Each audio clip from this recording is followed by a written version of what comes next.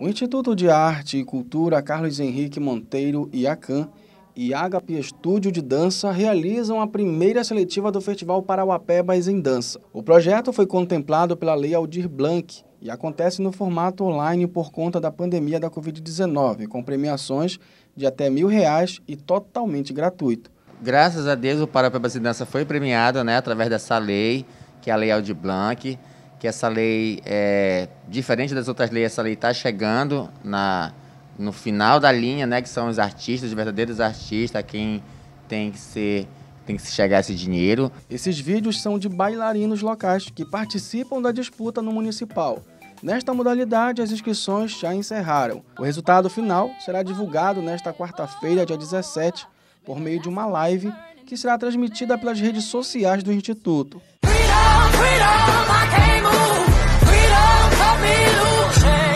E hoje, 20 horas, é a live de encerramento com apuração. A gente vai conhecer os melhores do Paraupebas e Dança Seletiva Municipal, todo mundo ligadinho lá, 20 horas no, no Facebook oficial do Paraupebas em Dança, né?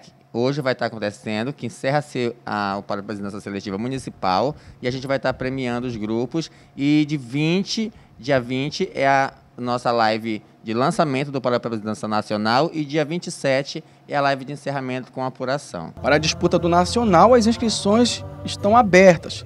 Carlos Henrique, organizador do festival, explica os critérios exigidos no ato da inscrição.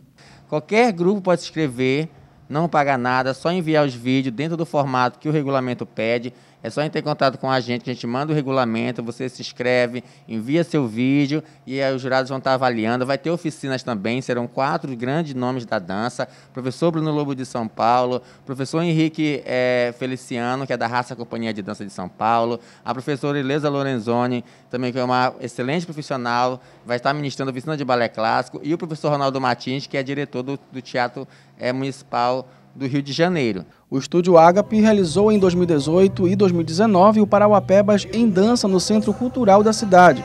No ano passado não foi possível a realização de um dos maiores festivais culturais das regiões sul e sudeste do Pará, mas em 2020 o evento poderá acontecer no mês de dezembro. Todo o, o, festival já está sendo organizado, já temos data definida, que é o dia 10, 11 e 12 de dezembro para acontecer lá no Centro Cultural de Paraupebas.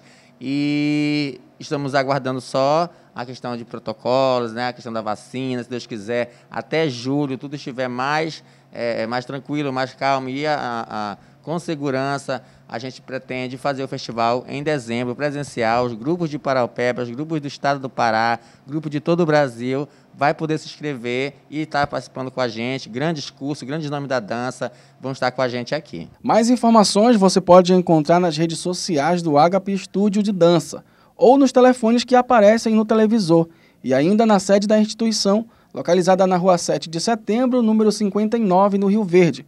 Claro, com todos os cuidados preventivos contra o coronavírus, das 9 da manhã às 21 horas. Contamos com todos vocês, grupos de Paraupebas, né? E, e grupos de todo o Pará, grupos de todo o Brasil. O Paraupebas Dança está aí online e contamos com a participação de todos vocês. E em dezembro, Paraupebas Dança presencial, 10, 11 e 12 de dezembro, no Centro Cultural de Paraupebas.